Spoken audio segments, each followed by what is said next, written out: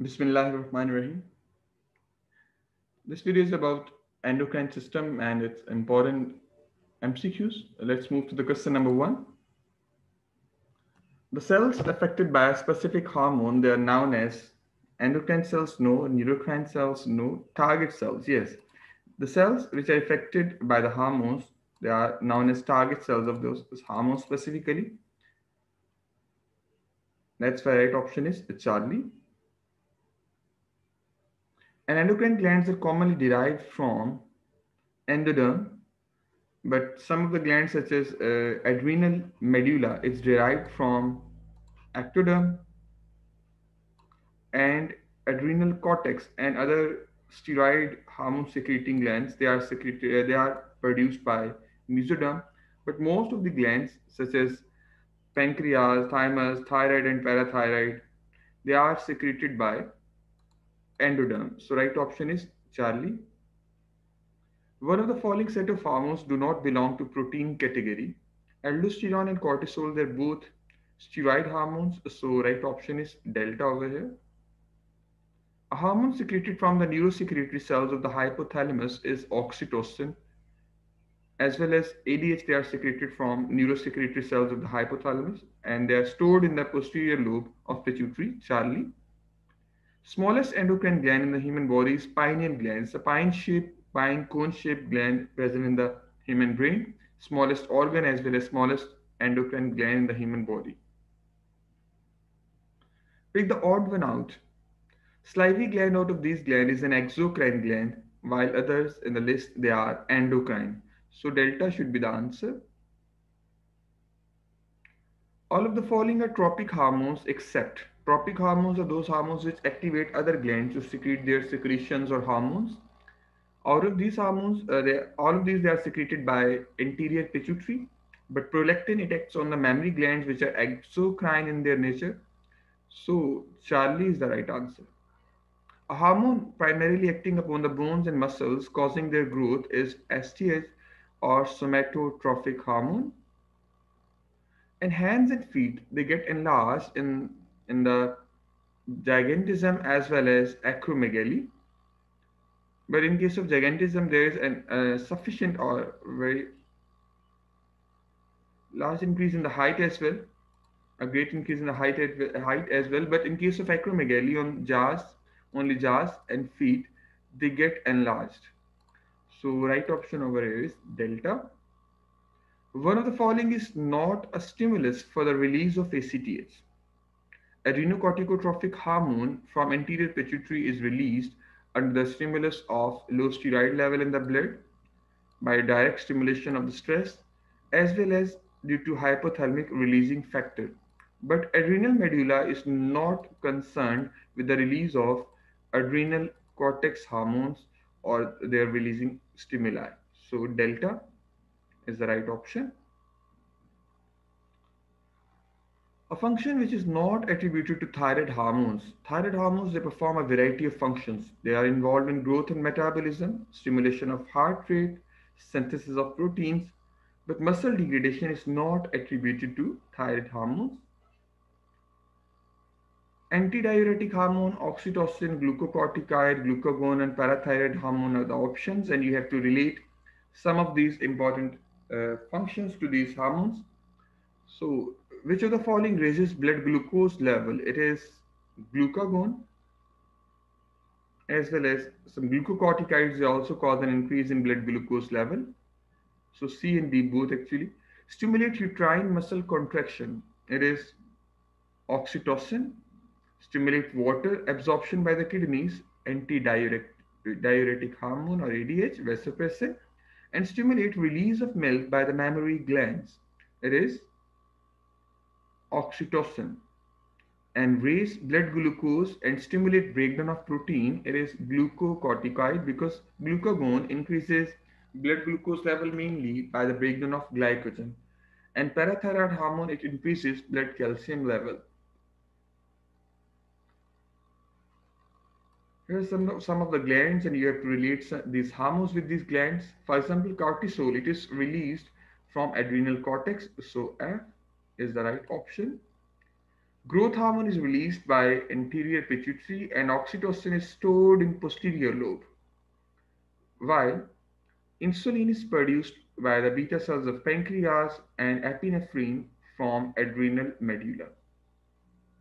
Which of these is not a pair of antagonistic hormone? Insulin is antagonistic to glucagon, calcitonin to parathyroid, and aldosterone to ANH because ANH reduces sodium absorption and ADH aldosterone increases sodium absorption. But thyroxine and growth hormone they are not antagonistic to each other.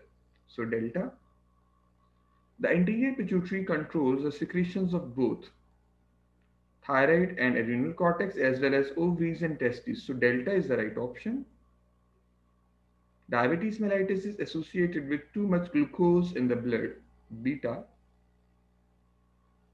And which hormone and conditions are mismatched? Cortisol does not uh, cause uh, myxedema, it is not related to myxedema, while growth hormone is uh, related to acromegaly, thyroxine, goiter, and parathyroid hormone underactivity can be related with tetany or low blood calcium level. So alpha is the right option. Hypoglycemia or low blood glucose level inhibits secretion of which of the following? It will inhibit the secretion of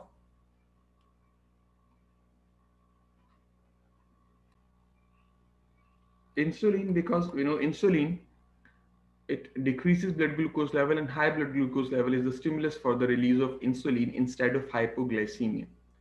But so right option is beta. The difference between type 1 and type 2 diabetes is that for type 2 diabetes insulin is produced but not used yes it happens and type 1 results from the lack of insulin production due to the autoimmune disorder and destruction of beta cells so alpha seems the right option which of the following hormones are found in females? Estrogen, testosterone, and follicle stimulating hormone. All these hormones can be found in females, including testosterone, which is secreted by the adrenal cortex in females. So delta.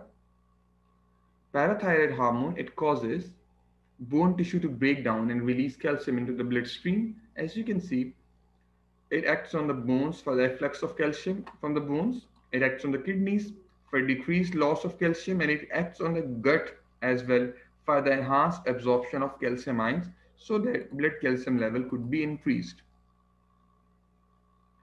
Tropic hormones, the hormones that affect other endocrine tissues, which of the following would be considered a tropic hormone? Calcitonin, melatonin, as well as oxytocin, they are the primary hormones. They do not affect other endocrine tissues, but follicle stimulating hormone is considered as a tropic hormone. Which of the following statements about the pituitary gland is incorrect? Pituitary gland, uh, it, the anterior pituitary and posterior pituitary gland, they do not uh, communicate with each other while the pituitary lies inferior to the hypothalamus. Growth hormones and prolactin are secreted by the anterior lobe, yes, and axons run between the hypothalamus and posterior lobe. As you can see, that's why it's uh, also known as neurohypophysis because axons are found over here and there is no communication between anterior and posterior lobe. So right option is Charlie. Shortly after ingesting a big plate of carbohydrate-rich pasta, you measure your blood hormone levels. What results would you expect compared to before and after the meal? High insulin as well as low glucagon. Yes, alpha seems the right option because uh, after having a carbohydrate-rich food, there will be high glucose level and you will require insulin to lower down it. And there will be low glucagon as compared to the uh, condition before getting that meal because before getting that meal you were having a low blood glucose level and glucagon was being released for the production of glucose from glycogen or other sources. So alpha, steroid and peptide hormones typically have in common the building blocks, they vary. That's why alpha is not the right option. The solubility in cell membranes, no. Steroids are soluble, but peptides are not. Their requirement for travel through the bloodstream, yes, it's a common requirement for all types of hormones. The location of the receptors is also variable. Peptide hormones, they have receptors outside the cells, while steroid hormones mostly inside the cell. So Charlie is the right option.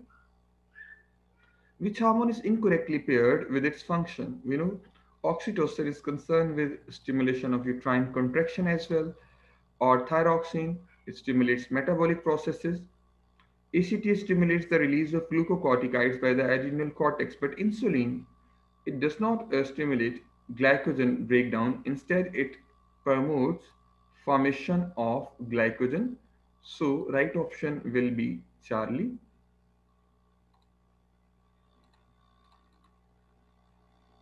The islets of Langerhans contain a large number of beta cells with, associated with insulin production. So right option is alpha. And increased levels of vasopressin or ADH caused increased watery absorption in the distal parts of nephron in the kidneys. So alpha. Find out the mismatch pair from the given options. We know ADH is not an amino acid derivative, but it's a polypeptide hormone having nine amino acids Glucagon is a protein, oxytocin is a polypeptide as well having 9 amino acids, cortisone is a steroid. So right option is beta. A patient suffering from diabetes insipidus can suffer from all except this disease is not related with insulin, it's related with ADH. So decreased insulin is an irrelevant option over here. So delta is the answer. Otherwise, large amount of dilute urine and increased thirst, they are the indication of this disease. Thank you so much. Uh, this was all about some important questions related to endocrine system of the human. Thank you. Allah Hafiz.